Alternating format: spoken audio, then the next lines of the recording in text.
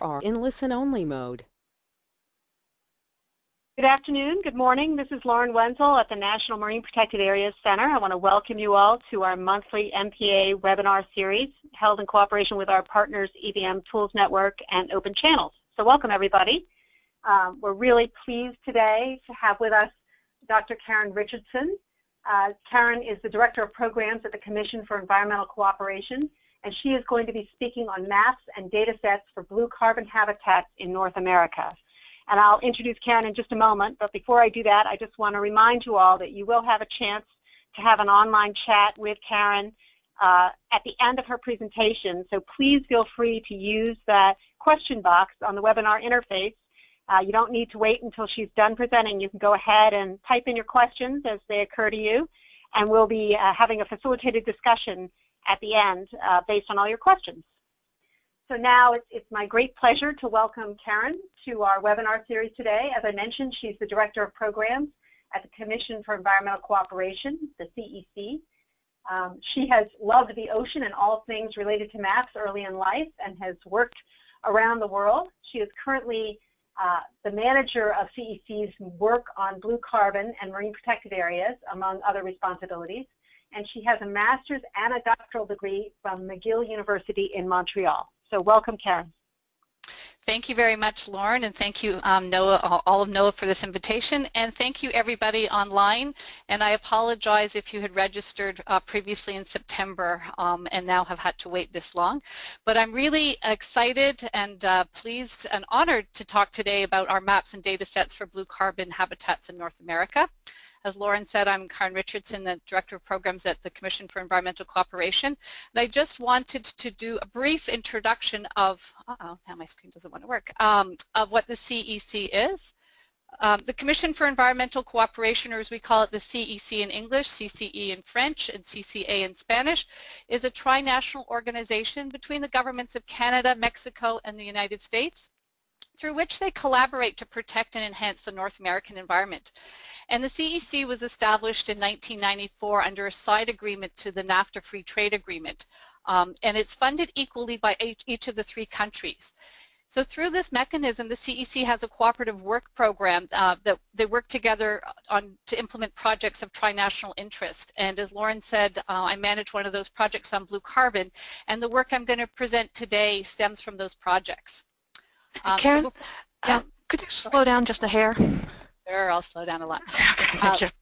Uh, before I start, I just want to acknowledge uh, that this work is, is, done with experts from the uh, three countries agencies from Parks Canada, CONABIO, CONAB, uh, CONANP, EPA, NOAA, and USGS. Um, and so it's a really it's a big joint effort between the agencies and the experts within those agencies. And the work today um, I'm going to present is got had two lead authors that were contracted by the CEC to produce uh, the maps and data sets and a report. And the lead authors were Dr. Gail Chmura of McGill University and Dr. Fred Short from the University of New Hampshire. They also had some major contributions from graduate and undergraduate students, and in particular Dante Torio. So I just want to acknowledge um, all of that. This is, as most of our work at the CEC, a large partnership with lots of different agencies and experts.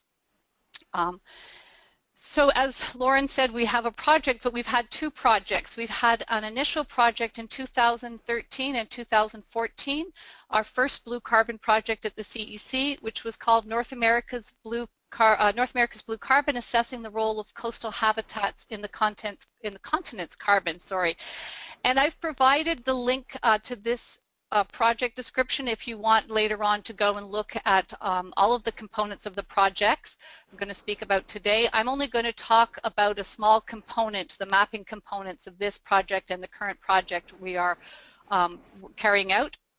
Um, and so the second project, which we have just started in July, is a follow-on project called the North American Blue Carbon, Next Steps in Science for Policy. And once again, this is in partnership with Parks Canada, CONANP, CONABIO, EPA, NOAA, and USGS. Uh, and once again, if you want to read all about the project, um, you can follow the link there. So for those of you who aren't familiar uh, with blue carbon and for the purposes of this work, we are defining blue carbon is the carbon captured and stored in salt marshes, tidal wetlands, seagrasses, and mangroves. and um, you know these these habitats are distributed around North America. They cover less than 0.05% of North America's coastal area, but they account for what we now estimate between 50 to 70 of all the carbon stored in the tidal and ocean sediments.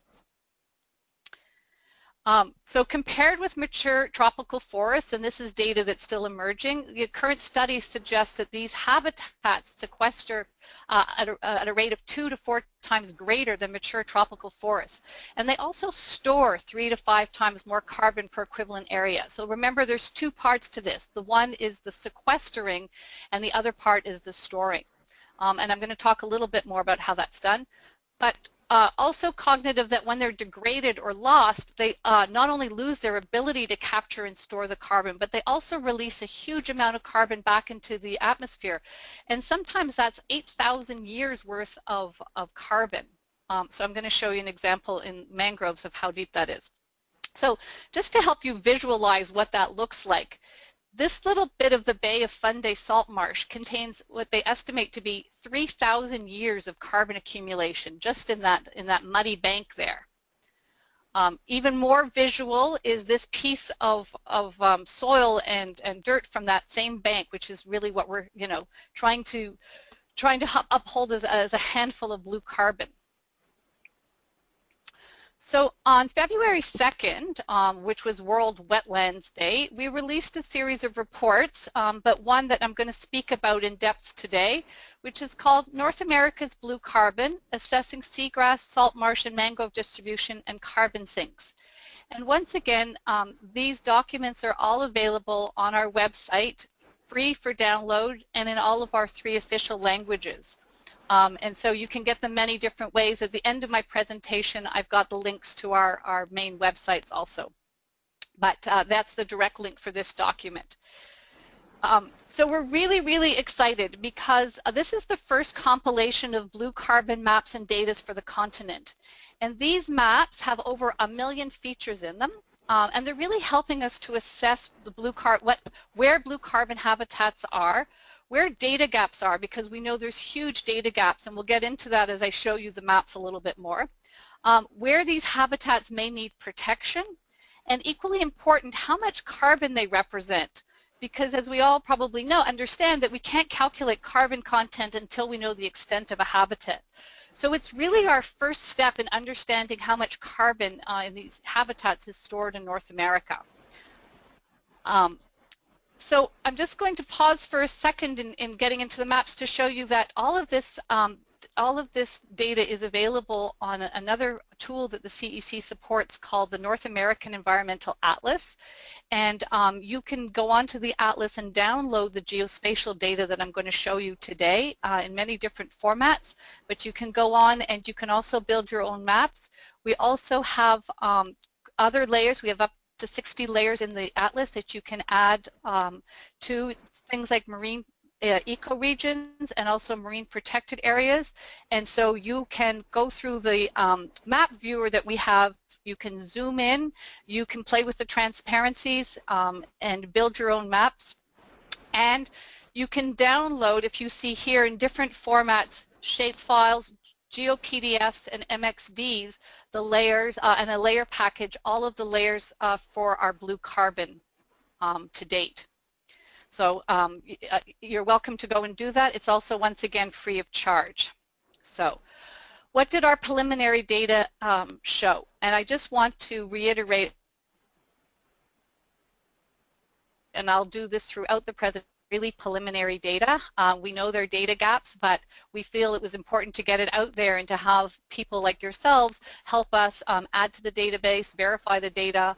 Um, the, the, data come with extensive metadata, so you can trace the source, but we really feel like um, we know there are data gaps, but it was, you'll, as you'll see, uh, it's important to get it out there and start using it. So when we look at the preliminary data, we see that the blue carbon habitats um, occur around 48,000 kilometers squared of North America's coastline. Um, and you can see the distribution in the three countries with the U.S. having to date the most mapped and maybe the most, but we're not sure yet, blue carbon habitat. And I'm going to get into the division by habitats, but you can see that, um, you know, salt marshes and seagrasses are the majority, make up the majority of that habitat. So I'm going to walk you through each of the different habitats, um, starting with seagrasses. Um, for those of you who aren't that familiar with seagrasses, seagrasses are underwater marine flowering plants that root in the sediment and produce flowers, pollen, and seeds, um, but below the surface of the ocean. And I've listed some of the main species that um, are found in North America up on top there. Um, those are the ones um, you'll find also throughout the report, and you can see where they are by bioregion. Um, they are root, being rooted in the bottom sediment. They rely on, on light that penetrates the water column for growth. Um, so it's very, it's very important that they have, uh, water clarity is very important for seagrasses. And uh, seagrass meadows are found from the intertidal zone to about 90 meters deep, and they can range um, from a very few square meters to hundreds of square kilometers. So what do we know about seagrass carbon? Well, it's estimated that seagrasses are responsible for about 15% of total carbon storage in the ocean, although they occupy a tiny bit, 0.2 of the area. Um, and so seagrasses can store up to 83 grams of carbon per square meter per year, or that's about 83,000 metric tons of carbon per square kilometer. So it's almost three times the amount stored by terrestrial forests. And they do this predominantly in subsurface sediments. So we also know that sea, the, the, health and distribution and health of seagrasses is impacted by a few stressors. Um, the first being reduced water clarity, uh, and that's usually caused by nutrient loading, sediment loading, also aquaculture structures. Um, and it's also stressed by physical damage, dredging and filling, um, mooring and propellers, um, and, and more recently climate change. And so it's thought that climate change is affecting seagrasses distribution by uh, bleaching, storms, health stress, and species migration that they're moving around. Um, and a good example of the decline of, um, sea, of eelgrass or seagrass um, in Great Bay Estuary, in New Hampshire from 1996 to 2013 is that in 1996 to 2004 there was a 50% loss. If you can see here um, from 96 to 2004, 50% of the eelgrass was lost. Um, that was uh, by 2013 that became 80% of the eelgrass lost. This is the eelgrass biomass. Um, and this was predominantly due to increased nitrogen pollution in the water. And it created poor water quality conditions for the eelgrass growth, but it also um, um, encouraged excessive seaweed growth. So these two things were playing uh, together to reduce the amount of seagrass um, in, in Great Bay Estuary. In this case, EPA uh, stepped in and tried to work with the wastewater treatment facilities to limit the amount of nitrogen in the wastewater, uh, and I think it's still a challenge, but I think they're trying to reverse the trend there. Um, so what do we know about the distribution of seagrasses? Uh, we estimate that the data that we have that I'm sharing with you in the databases and we'll show you in a minute on a, map is only about 50% of the continent's seagrass has been mapped. We know that many locations need a lot more mapping, but um, we know also that it's a, it's a good start, uh, the database that we have. And as you'll see, almost 60% of the documented seagrass areas are in the United States. So uh, for our seagrass data, we have three different data sets. We have in green the polygon data sets that are complete data um, mapping out the extent of the seagrasses. We have in orange line data where uh, most, most of this was a helicopter survey indicated on the shoreline where seagrasses may occur, but they just provided a line saying seagrasses occurred from X to Y. And then blue dots, harder to see on this map, um, occur all the way down the Pacific here into Mexico and up into the Canadian um, Atlantic provinces. That's just observational data that uh, we haven't used when we calculated the extent of seagrasses. So we haven't used the orange data or the blue data when we calculate the amount of seagrass uh, in North America to date. So if we break that down a little more and look at it, we see that um, of mapped area, we have just over 24,000 kilometers squared of seagrasses. And um, if you look at the number of polygons, you'll note that for the U.S., 94% of the of um, that of the polygons um, are, are in the U.S. and only two uh, in Mexico and 4% in Canada. So if you look, though, for Canada has a lot of, of line data and um, point data that then need to either be mapped um, into polygons uh, or resampled uh, or reworked if they've got if the data already exists. So we're very cognitive for, for this seagrass um, maps that it's preliminary, but it's still, as I said, very helpful um, to so. So we, as I said, we've it's the data greatest data gap. Uh, we feel like it really is an underrepresentation and that underrepresentation is largely due to the challenges involved in seagrass um, mapping. It's really hard because they're generally submerged to use products, remote sensing products, and other easy, easy map tools uh, to map seagrasses. Um, so if we look at where these areas, the real priority areas are on a map, we can see that the Pacific Northwest, Area A on this map is a huge priority. Uh, the orange data, again, is just where we have line data. Uh, B, uh, for Prince Edward, uh, at Prince Edward Island in Canada, that's all just observational data. That's just point data that somebody saw seagrass there. And uh, you also see the same trend when you go down to the Gulf of Mex uh, Gulf California in Mexico, and then all around the rest of Mexico. We also know that there's a lot of uncolored areas of the shoreline where it's largely unsurveyed. So we have a large part of North America where we really um, have not even got observational or line data. So luckily, this study was made available as the experts um, through the CEC sort of contemplated what we should do next. And we were fortunate enough through this ongoing new project to be able to um, point a lot of the money towards uh, filling in this gap. And so we now have three teams who are going out to map and estimate basic carbon sequestration and storage uh, in, L in these locations, mostly in British Columbia, um, along the entire coast there, in Oregon, in Puget Sound, in Washington, um, and then from Holbox to Playa del Carmen, including all of the islands in Mexico, and from Playa del Carmen to Tulum, including the island of Cozumel in Mexico, too. And not only will they be looking at the geospatial extent and area of seagrasses, they're also going to measure uh, seagrass abundance uh, throughout those areas, and they're going to measure soil carbon content and bulk density in sediment cores, and they're going to measure carbon content of the seagrass tissues above and below ground. And so we're really hoping that in the next 18 months as this work uh, is carried out and then all the results are compiled that we're really going to be able to improve our knowledge of seagrass extent and also of carbon storage. Um, so that's it, and that's an exciting next step for us.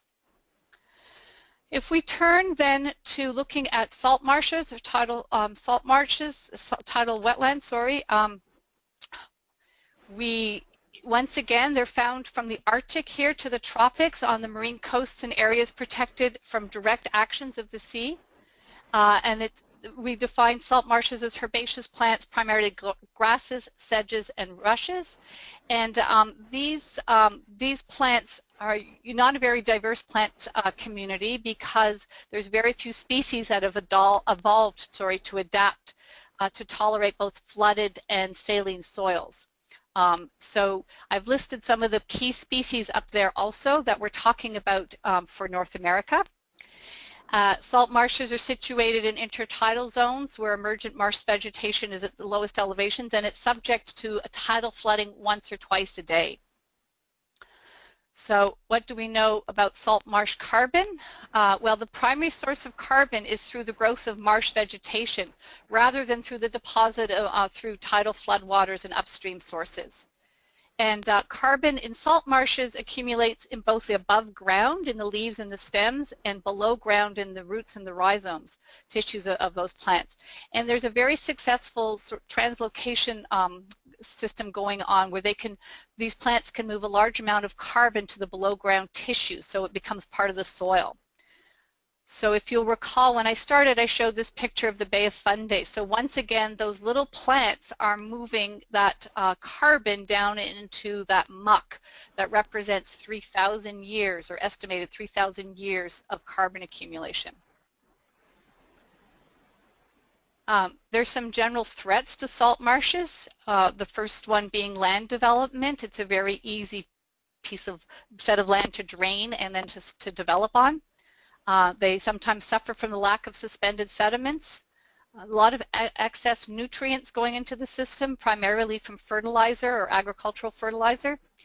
And then something called coastal squeeze, where sorry, um, uh, there's a wetland loss at the seaward edge of the vegetation because of a barrier such as a wall or a road um, that's built up much higher up in the wetland, which is preventing the migration, uh, the natural migration of the marsh. Uh, so these are all things that are threatening salt marshes. Um, historically, some of you may be aware of um, some losses of some large salt marshes. This one is in Jamaica Bay, which is um, in, in New York, in New York City. And here, as early as the 16, 1654, the Dutch used the salt marsh for grazing animals.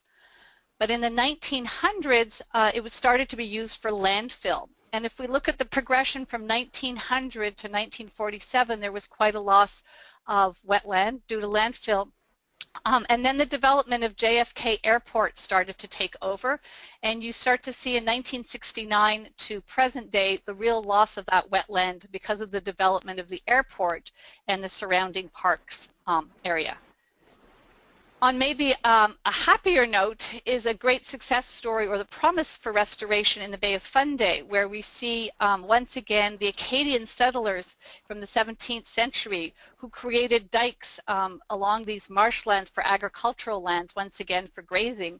And um, in the 1940s, the dikes broke after many centuries of being used, and that allowed the marsh to come back and reestablish itself. And so you can see the progression back to marshland from 1935 to 1979 and still into today. And this area is now a wildlife management area. Um, and it also, you know, gives hope that uh, we can restore some of these diked areas. Um, so when we start to look at the distribution from our maps of salt marshes, we see that salt marshes have been mapped in all of the U.S. states and most of the Canadian provinces, with the exception of Newfoundland and parts of, of Quebec. Uh, Louisiana has twice as much area as any other state in the U.S. And in Mexico, they haven't really mapped um, salt marshes much. So only marshes in Baja California have been mapped. So I'll put the map up for a little bit and show you that um, I'm talking about Newfoundland up here. Um, uh, doesn't have there there is a data set for Newfoundland and uh, it's coming in online. It wasn't included in our data set but there is data for that. Uh, this area of Quebec the northern part this whole area of James Bay and Hudson Bay hasn't been mapped um, and curiously, uh, we know that there's probably salt marsh up in the northern part of uh, Canada up here because the line ends at the Alaskan, um, the Alaskan Canadian border up there, and we're sure that salt marshes go in across the border. Um, and also, if you see Mexico, look down to Mexico. Nothing has been mapped there on salt marshes. So once again, we know that um, there, there uh, is an underestimate of the amount of blue carbon habitats for salt marshes out there, but uh, once again, you know, we're hoping to fill in some of these gaps as the uh, over the next few years. If we just look at the sheer amount uh, for North America, there's about just over 13,400 kilometers squared of um, salt marsh area mapped. And once again, the huge majority of that is in the U.S. because the U.S. has done a great job, um, what the, the, great a great job mapping its blue carbon, uh, sorry, its salt marshes. Um, and the Canadian one we know is a huge underestimate, as is the Mexican one. So if we look at some of our mapping priorities there, uh, one of the easy ones is to include the Newfoundland data, if we can uh, come to an accord with them to do that, and also to start looking at how we can map Hudson and James Bay and part of Quebec, the northern low shore of the, of the St. Lawrence, and how to start incorporating or mapping the remainder of Mexico. Um, this has already been started uh, by Conabio, and, and, thanks to the Mexican government and Conabio who've taken an interest in mapping uh, some blue carbon habitats. So we're hoping that um, over the next year and a half, too, we'll really be able to build this data set. Um, onto, my, to, onto mangroves. Um, mangrove swamps are found along the marine and estuarine coasts in the tropics and subtropics, and they sometimes co-mix with smaller areas of salt marshes. Um, and the term mangrove is applied to intertidal arboreal vegetation species and, and includes ferns um, that found in only tropical climates. Uh, and it's those plants that tolerate a salinity along the coast. Um, so once again, I've put up the primary species that we're talking about, but there's a lot of species that go under the, the, the name of, of mangroves. Um, what do we know about mangrove carbon? We know that um, mangrove soils are where the majority carbon pool is for them, and um, those soils are able to store uh, carbon for millennia. So we're talking here up to, the, I think the, the study that shows the most is 8,000 years of carbon. We recently, through the CEC, funded Boone Kauffman and his colleagues in Mexico to look at um, a mangrove in, the, in Mexico's Pantanos de Centla area, which is the largest wetland in the Mesoamericas. And they showed that there there's, uh, contains exceptionally large carbon stocks, which are among the largest of any mangrove ecosystem in Earth. Um, and that work has been published by, by Boone, but also is available um, in a synopsis that I'm going to show you of, on our library.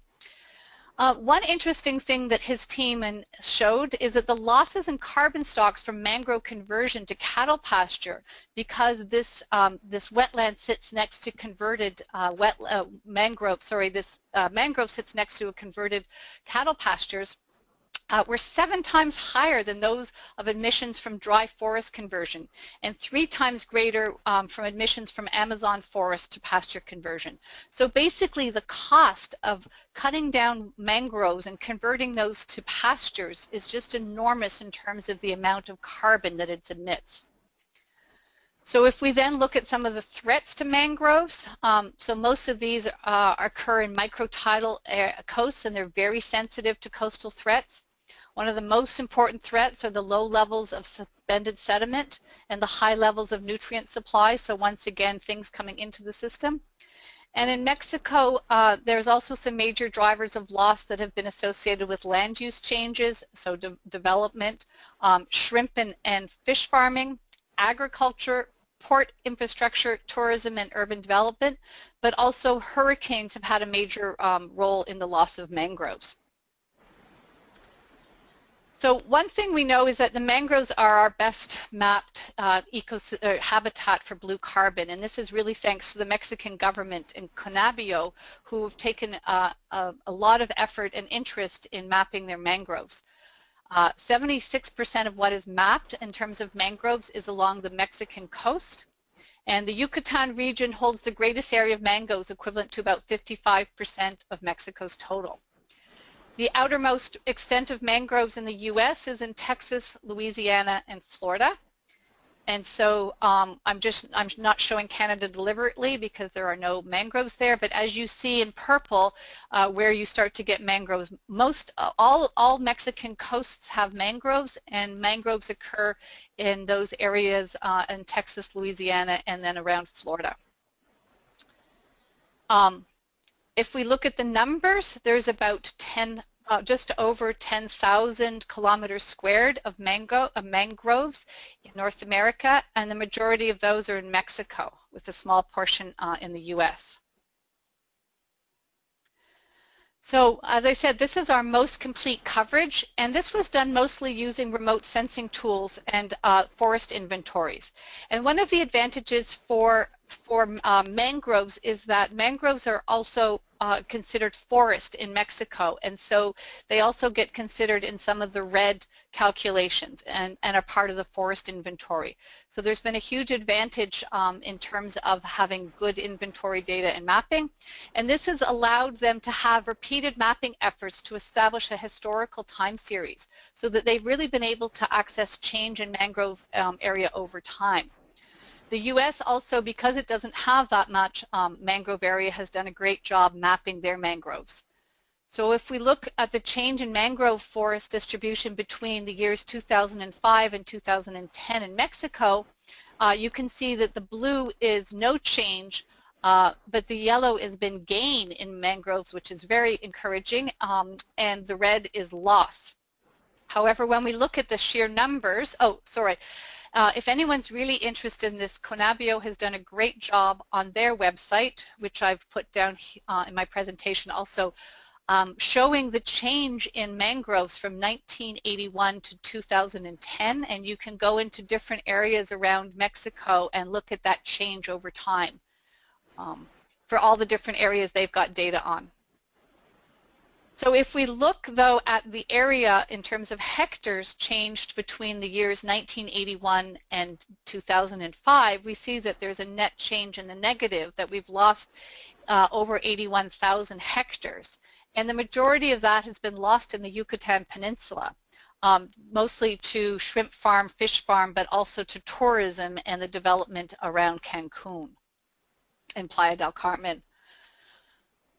Um, the other thing that is threatening Mexico's mangroves is sea level rise. And so if you look here from 1970, which is the red line that goes out, that was the extent of mangroves in 1970. Um, and now if you look at the yellow line, 2010, that's the current extent. And that loss represents about a kilometer, believe it or not, of mangrove loss.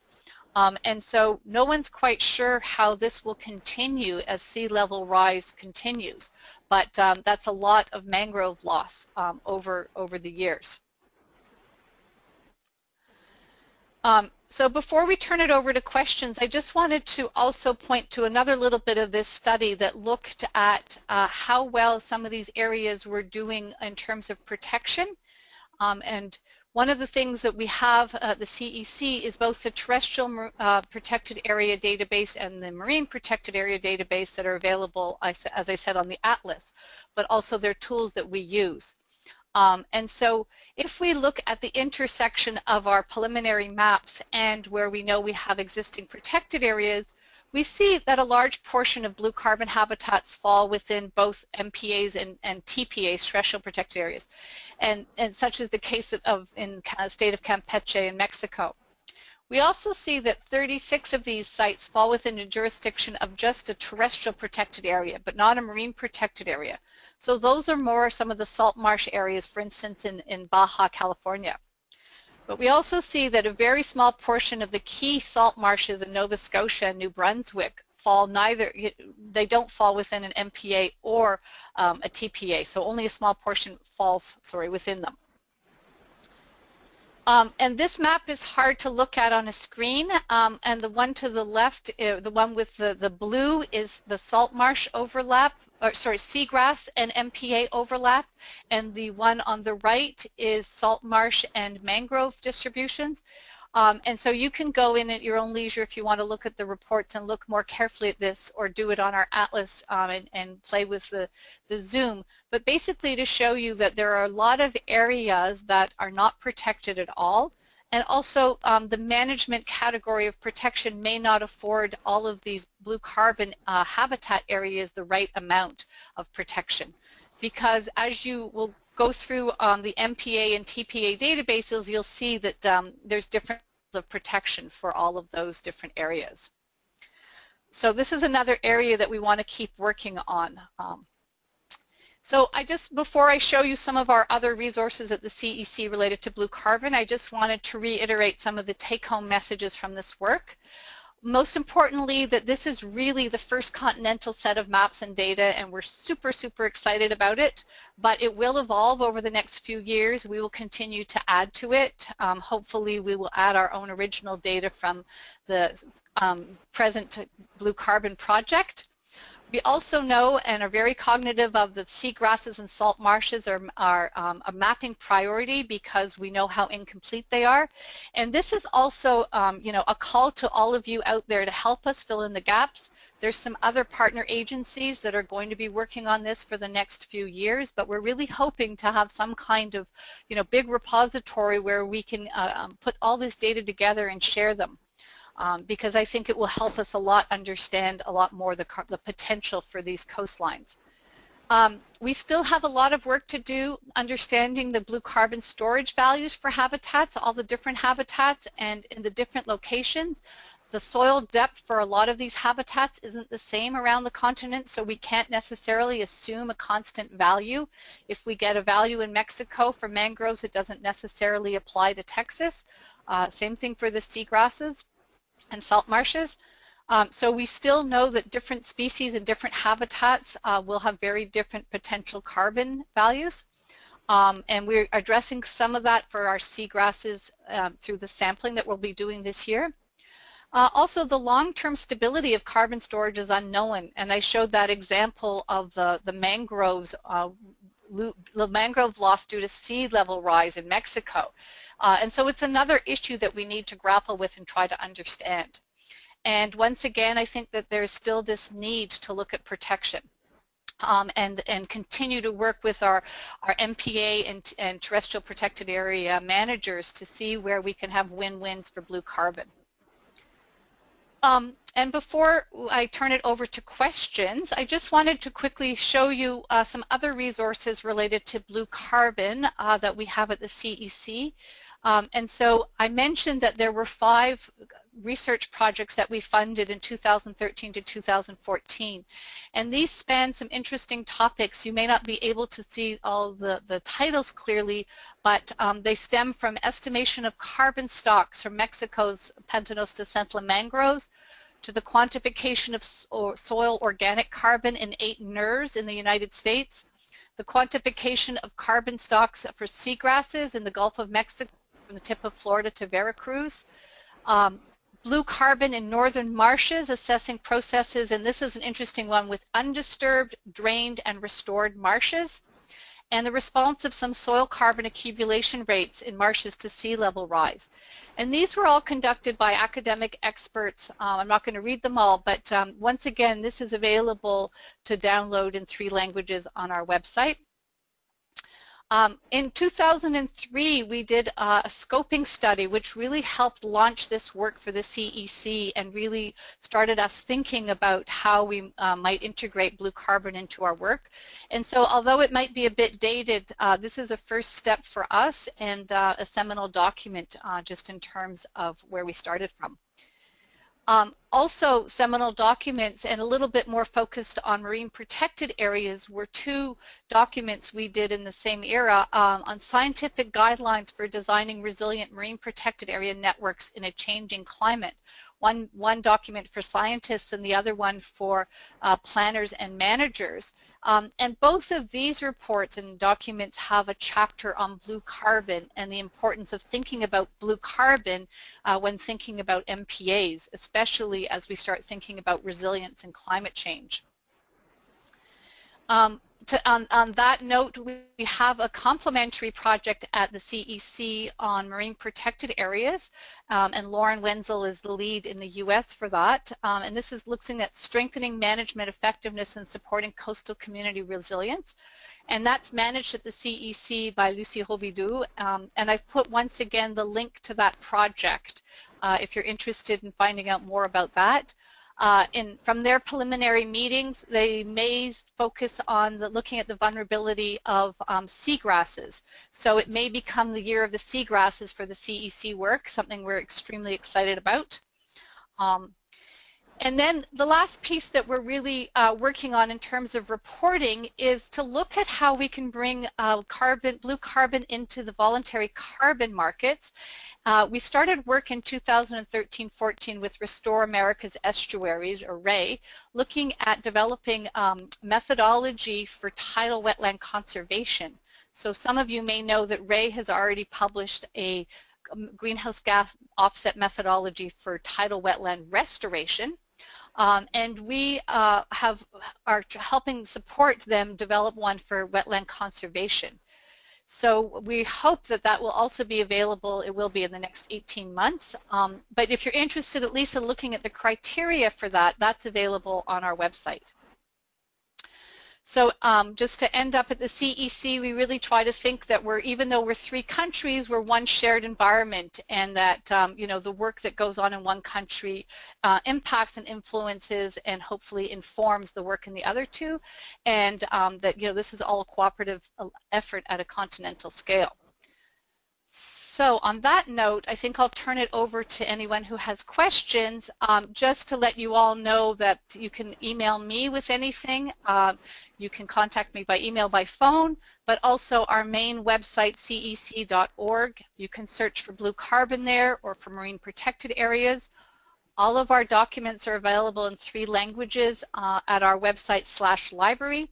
All of our geospatial data uh, to download is available at the Atlas or even you can put in NA, uh, if you uh, want to shortcut it, you can put in NA for North American Atlas. And a lot of our historical work on uh, marine protected areas, marine ecoregions, um, species of common conservation concern in the marine realm is available at cec.org.nam or slash NAMPAN for North American Marine Protected Area Network. So on that note, I thank you all for being very patient through this and, um, and hope that, um, you know, if you do have data, uh, you will signal to us and, and share. Um, and uh, over the next 18 months, you can all contribute to improving these products um, and helping us move forward with this huge important effort. So thank you very much. Thanks, Karen. That was a great overview of some really terrific work by the CEC. Um, so we do have some questions, and I thought I'd start with a, a pretty fundamental one from uh, Gash, who asked, can you talk about uh, terminology? What's the difference between carbon storage and carbon sequestration? So, oh, so just go ahead, or uh, so carbon sequestration is the um, uh, is the carbon that uh, through photosynthesis mostly that plants um, absorb and then stored is mostly in these habitats stored in the sediments in the roots and the rhizomes and in the soils. So it's actually stored. It's not it's the capture versus storage part. So captured through the process of photosynthesis and then stored below um, and mostly in those uh, sediments but also stored in biomass above okay. and below all right, great. And now we have uh, a couple of questions about other types of habitats. Uh, there's a question about um, does freshwater have carbon habitats like in the Great Lakes?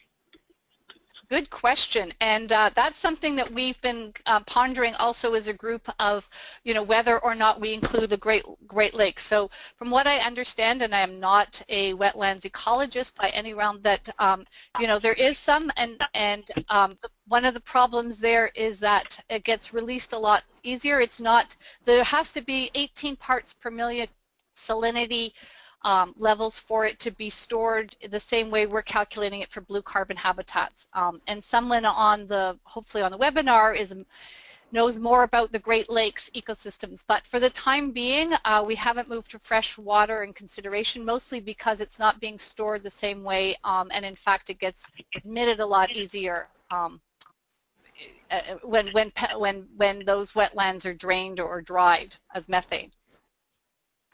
Okay. And another question about a different habitat. Are you looking at or plan to look at kelp habitat? Yeah, so once again, I think the studies have shown that there's not a lot of carbon being stored in um, in, in kelp, but, but I'm not, once again, I'm not a, a kelp uh, biologist. Having said that, I think with kelp and with coral, the, it's a negligible amount when we compare it to salt marshes, seagrasses, and mangroves. And so for the purposes of our work, we're just staying there, but I know that there are some scientists who are working on looking at, um, you know, the contribution of corals and kelp um, and other seaweeds. Okay. And I know a couple of folks have asked, and I just want to make uh, clear, we are going to have this presentation available and posted on the MPA Center website, and we'll also have the recording available at Open Channel. So if you didn't hear the whole thing or you want to share it with others, it will be available there. So um, now switching to geography, there were a couple of questions about coverage in the Caribbean and whether this project is or intends to include the Caribbean um, or if you're working with partners there who are doing similar work. So we would love to. Um, our mandate at the CEC is strictly North American, um, Canada, US, and Mexico. Uh, that said, um, when we, we do get data, we, we, we do keep it um, in another in another data set that we don't usually publish with our North American data. Uh, we don't have access right now to good Caribbean data if anyone does. Um, we, you know, as I say, Conabio has a very extensive database for Mexico and may have some more uh, Caribbean. They work a lot more with those partners uh, closer to, to Mexico, um, but we don't. Our, our, strictly, our mandate is strictly North American. Having said that, I know that there's a few efforts to start discussing developing um, more global data sharing for blue carbon, and um, you know this may be an instance where if this if some of the efforts being discussed get underway to share data, this may be a good uh, a, a, good data set to start sharing the maps and the geospatial data related to um, to the maps and, and start to include the Caribbean. Okay, great. Um, here's a question asking, are restored seagrasses, marshes, and mangroves as effective at storing carbon as, uh, you know, undisturbed areas? So that's a question um, that uh, Gail started to address too in her, she, if you want to look at her synopses, um, which is on our web, she looked at undisturbed um, and restored um, wetlands and uh, sort of salt marshes and showed that there's great potential in the carbon sequestration and storage for restored salt marshes. So she looked in Maine and in the Bay of Fundy area, um, and I will point you to that study where if you want to see all of the, the data and information, I think there's great potential for restoration there. Um, there's also, from the work that we did on seagrasses, uh, they've shown this around Tampa and Florida, but also for the whole Gulf of Mexico there. There's great potential for the restoration of seagrasses um, for the, in terms of carbon, uh, both in terms of sequestration and storage. So I think we know that there's success stories out there, and we just have to also start to work uh, on on measuring these as we restore those kinds of habitats. And just speaking about restoration or increases in habitat, you noted some of the mangrove areas increasing in Mexico. Do you know what that's attributed to? That's a very active restoration program by the government of Mexico where they've gone into areas and, and actively planted mangroves. Um, you know, as they've lost mangroves, they've also realized they've lost all that ecosystem function, the fisheries, nurseries, you know, wave attenuation, all those things. And so they have actively had a very um, large mangrove restoration program. Okay. Um, Karen, you mentioned ecosystem function. There's a couple of questions about ecosystem services, and of course, you know, carbon storage is an ecosystem service. And uh, there's just a question about, um, are, are, people uh, looking at how to value the economic uh, benefit or value of carbon storage associated with these habitats? Right, so that's that gets back to um, this this development of a methodology uh, to bring blue carbon uh, to the voluntary carbon market. And so one of the things that they're developing, and this is uh, the RAE experts um, in partnership with, with several other experts, is you know how to start looking at those projects so that you can have evaluation and you can bring blue carbon projects to the carbon market with evaluation uh, for that. One of the issues um, that they are looking at and they addressed in some of the restoration work, which is already a published and verified um, uh, just recently actually, uh, methodology in the VCS, if you want to go and look in the VCS, the Voluntary Carbon Standard or Verified Carbon Standard Registry, sorry, um, is the permanency. And so you have to show permanency. And this is a bit of a challenge for some of our blue carbon uh, habitats which face sea level rise. And so um, in doing the valuation and all that, they're working hard to look at how you can assure a 100-year permanency for some of these projects.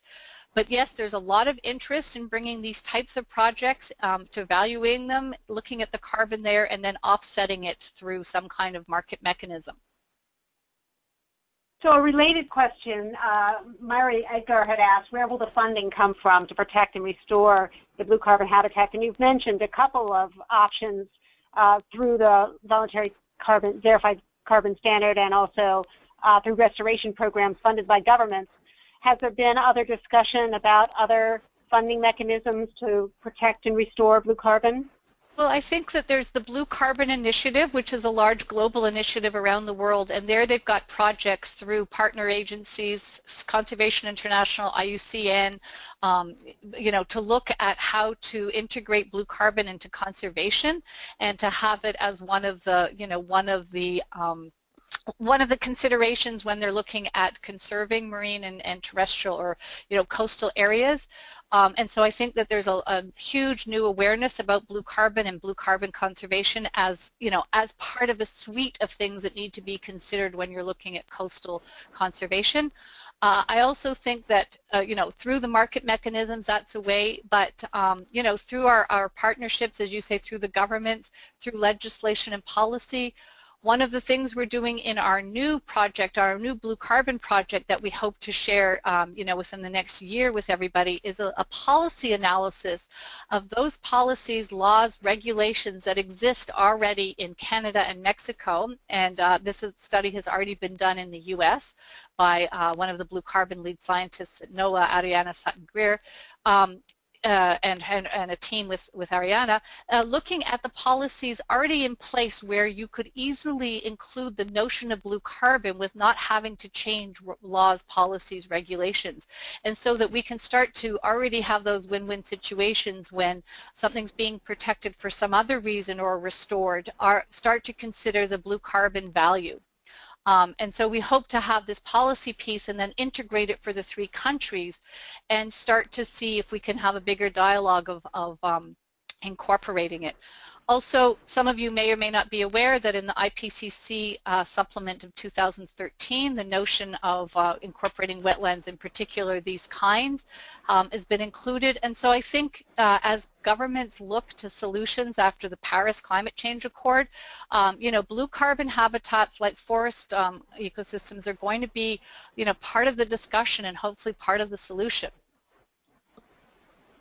Great. Obviously, there's a lot happening on the policy front with blue carbon as well as on the mapping and science front. One other comment just on the policy from Bill O'Byrne, wondering, has there been any discussion about um, tax credits for private property owners who protect or don't disturb blue carbon habitats? Are you aware of anything along those lines?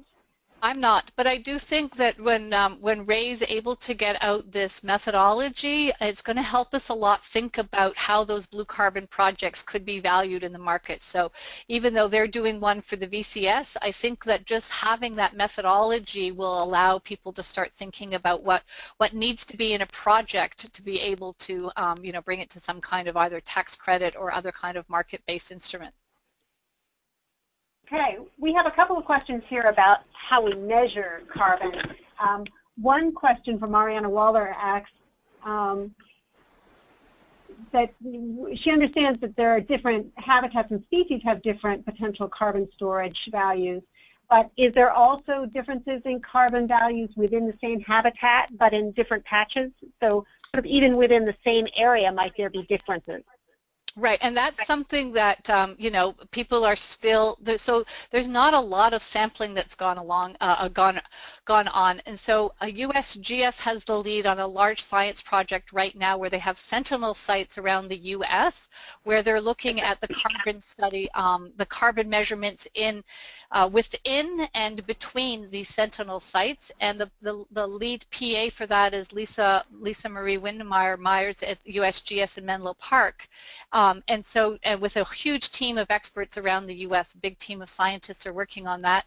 Uh, within our own sampling regimes that we're going to carry out, we will be looking at that, sampling um, within a particular area and looking at differentials of sampling. But this once again gets to a real dearth of, of information and, and um, of sampling um, you know, around North America and around the world.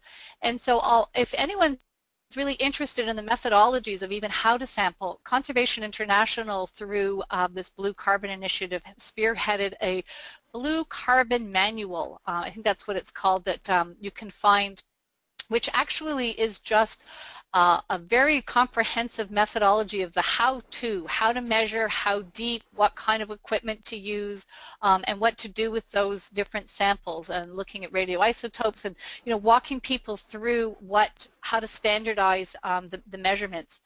One of the things that we're going to do in the next six months with the teams that we have is also discuss and, and, and hopefully adhere to a standard protocol and methodology. Um, not that they can measure seagrasses in all of the three countries the same way, but at least some common standards and understandings of definitions. And so we start to harmonize, uh, at least between um, North, the North American countries, how we measure and map um, blue carbon.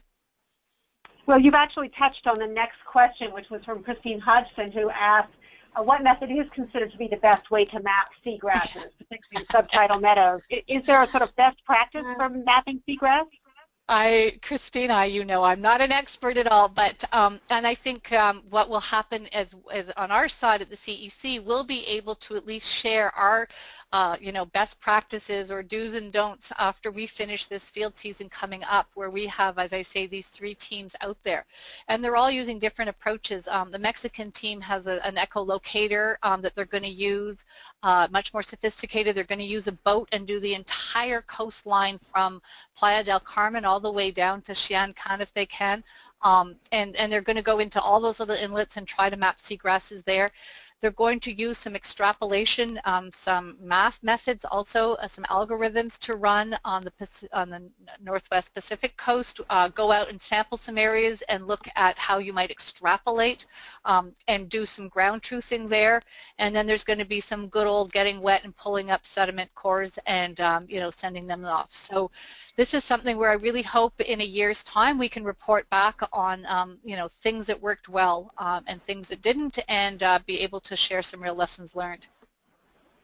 And again, with seagrasses and mapping, um, there was a question about deeper water seagrasses and whether they're included in this effort, or whether how how far out do you measure the seagrasses? So once again, um, that's going to depend on the site. Um, the, uh, so in, in our initial work, it's mostly going to be close to shore and, and not very deep. There's also uh, seagrasses that occur on rocky shorelines. Um, you know, there's some seagrasses and then it's a different species that occur there. And for this first instance, we're really not focusing on them, but we recognize that there is a need eventually to start incorporating those both species um, and, and habitats. Um, you know, I think we have such, once again, a lack of information on seagrasses that uh, are right on shore or near shore, sorry, that, um, you know, we're going to start there. Um, and I see that uh, there is another question about geography. Just wondering, since it is within the U.S., if there is information included here on the U.S. Virgin Islands and Puerto Rico. Good question. Um, there's not, um, and so once again, uh, we when we do get data for Puerto Rico and the U.S. Virgin Islands, we try to include it. Um, I don't think in their compilation they were tasked with that. I think, uh, you know, we always we treat at least the 50 states, um, and we don't have a complete data set for Hawaii either. Uh, this is something that we're working on, and um, as I'd like to say, stay tuned. Okay. And uh, you have a, a, a, comment from Beatriz Solares who says, thanks for a very interesting presentation. In ProNatura Noroeste, Mexico, we will use this information for a climate change diagnosis to identify action opportunities. And she's asking if you also have information on sea level rise threats that goes along with some of the ATLAS information you presented. Right. We uh, we don't necessarily, but once again, we had a study that we funded, uh, and, went, and it's in in Spanish and English and in French uh, in our synopses of, of some of the science that we funded last year, where uh, Matt Kirwan uh, looked at the impact of sea level rise on a huge. He so he had a lot of of the sea level rise predictions we haven't yet converted that over to a geospatial um, layer. I'm not quite sure if we ever will, but um, it's quite a lot of work. But uh, at least it's worth going to read the results from his study when he looked at the impacts of soil carbon um, on, and sea level rise. Or sea level rise on soil carbon, sorry. Okay, and, and this seems like a good last question here from Mariana Walther. I know, Karen, that you said we needed to do some more work to really look at the protection issue, but Mariana asks, how well represented are the three ecosystems in terms of protection in North America?